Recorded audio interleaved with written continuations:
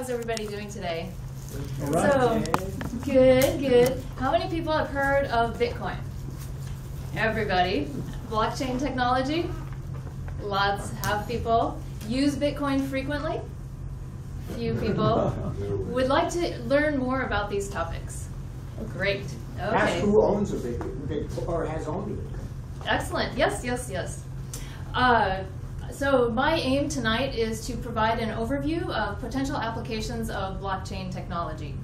Uh, there are some ideas expanding on those in my recent book on the topic, and the slides are available online at slideshare.net forward slash lablogga. We should think about the blockchain as another class of thing like the internet, a comprehensive information technology with tiered technical levels and multiple classes of applications for any form of asset registry, inventory, and exchange, including every area of finance, economics, and money, hard assets, physical property, and intangible assets, and applications in science, art, literacy, and health.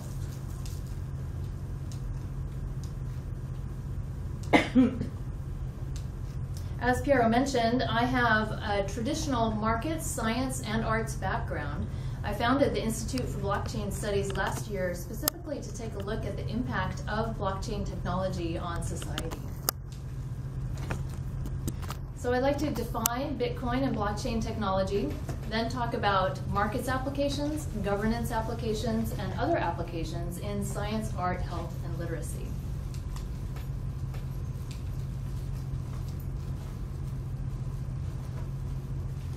So Bitcoin is finally a digital currency that works.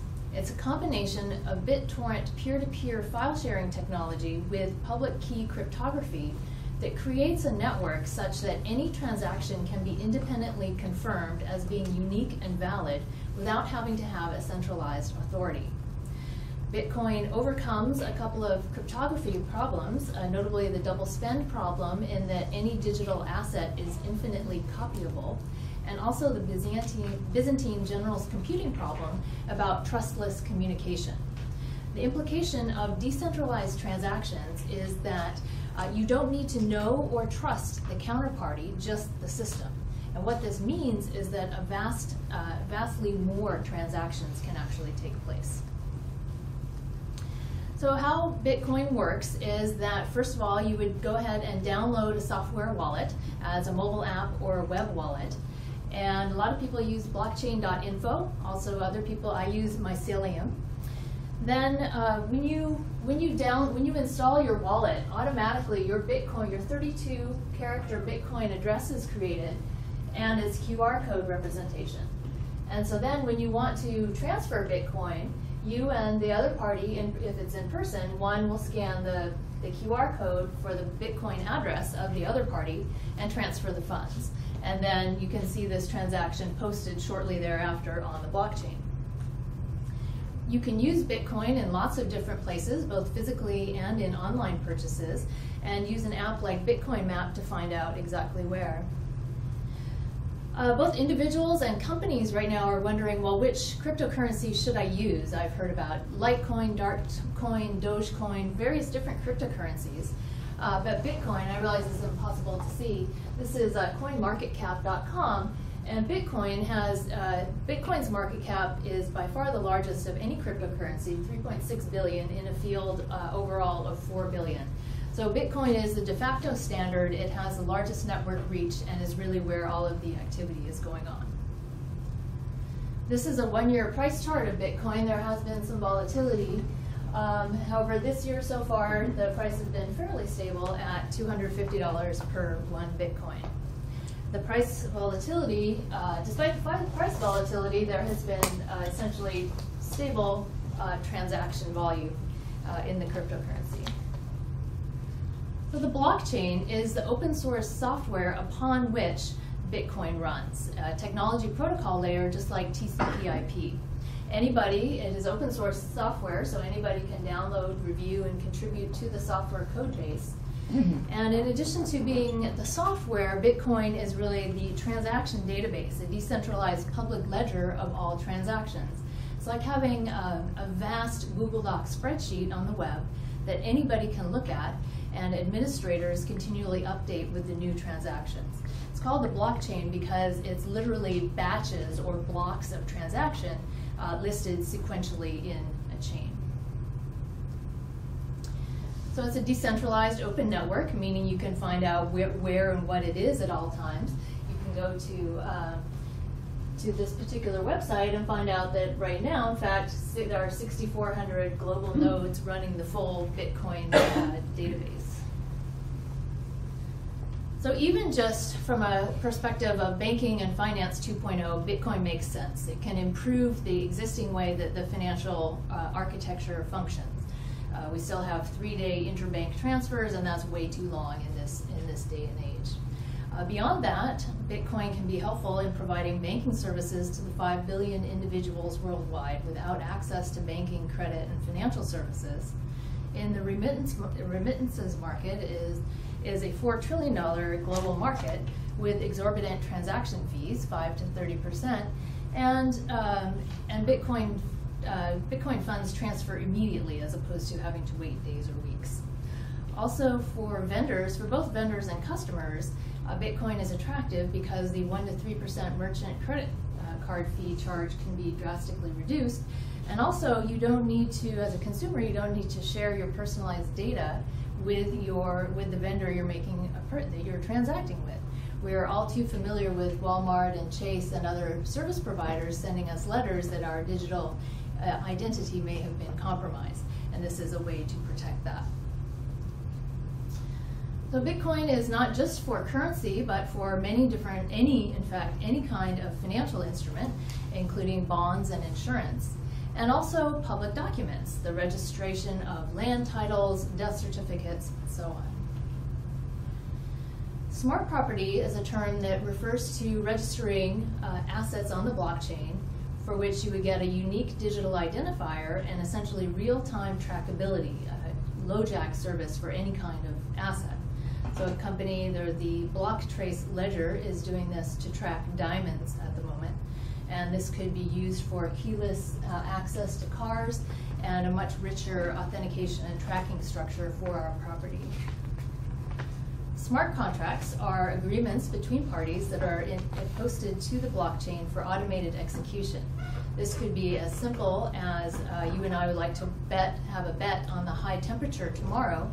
We can encode that to the blockchain, escrow our funds, and get automated payout per some sort of confirmation of the temperature tomorrow. And that is all without an intermediary to settle the bet. Other more complicated smart contracts include, uh, for example, an inheritance that might pay out at age 21 or at the death of the benefactor uh, mortgages with automatic interest rate resets, like many of us are familiar with.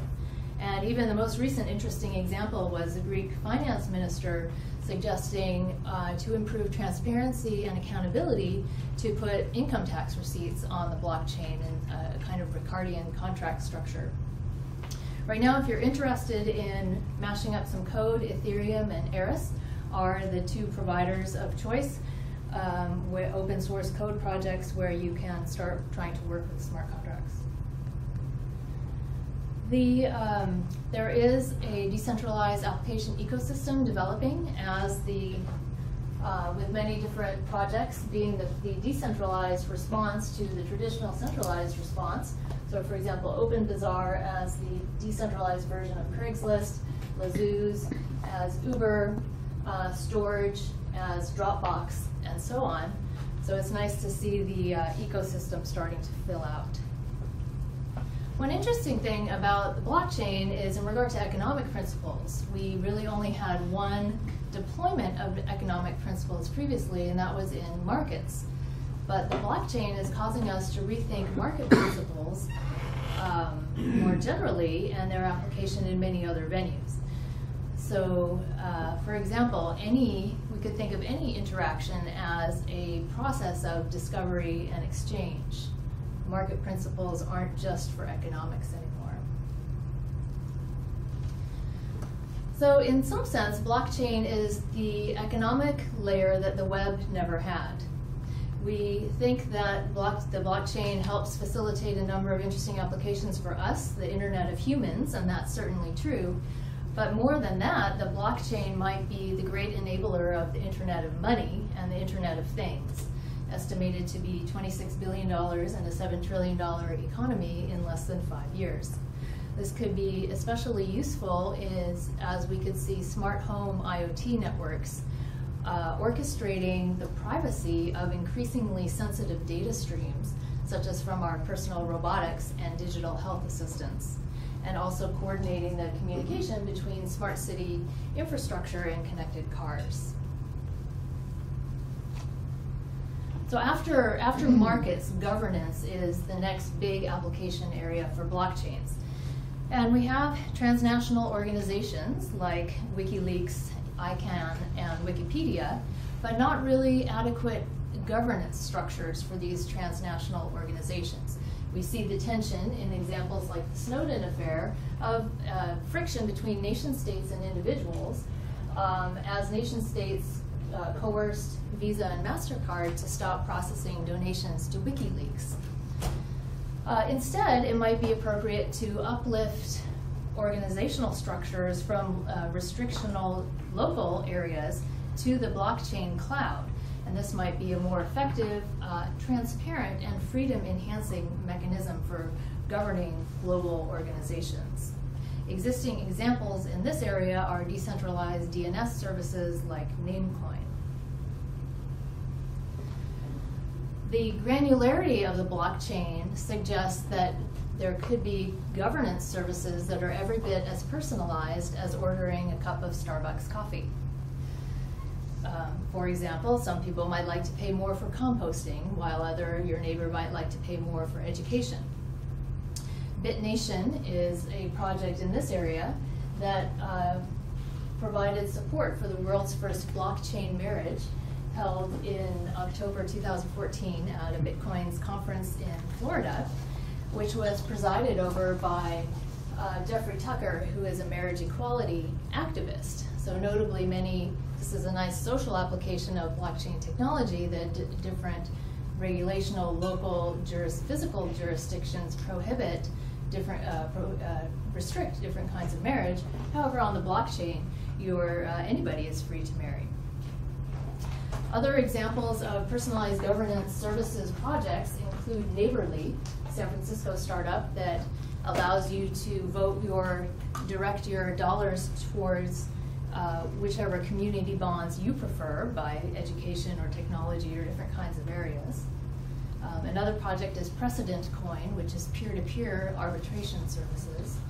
And a very interesting new startup called Sidekick, which provides on-demand uh, tele, tele-attorney counseling services. For example, if you are um, an individual in a traffic stop by police, uh, you might take advantage of their automated audio video recording service that is immediately uploaded to the blockchain. Other governance uh, services in the blockchain area would include a greater uh, representational democracy in voting. One idea is Futarchy. This is a two-step program where instead of voting on people as representatives, individuals can vote in a two-step process. Number one, vote on desired outcomes, and then number two, vote in prediction markets for which, for the actual means of achieving these outcomes. Another idea is delegative democracy, where you would, uh, instead of vesting voting authority in a long-term representative like we have in our governance structure now, it would be more uh, temporarily vested in a delegate. And another idea is random sample elections using the blockchain to facilitate individual, a sample of individuals uh, voting on certain issues. Another uh, great use of the blockchain is in legal services. So the blockchain could become the repository of the whole of a society's legal documents. And the way this could happen is the taking advantage of um, hashing plus timestamping functionality. So how this would work, this is an existing startup in Argentina called Proof of Existence. And so what happens is you have whatever file size you have, a genome, an art file, whatever file, you can run a hashing algorithm over it and obtain a unique 64 character code that correspond, that can only have been run from that file's contents as they were at that time. And then you post it to the blockchain so you know exactly when that, uh, that file was created. And at any time later, you can rerun the algorithm over the file contents and confirm that it hasn't changed and that that particular party owned them at that earlier time.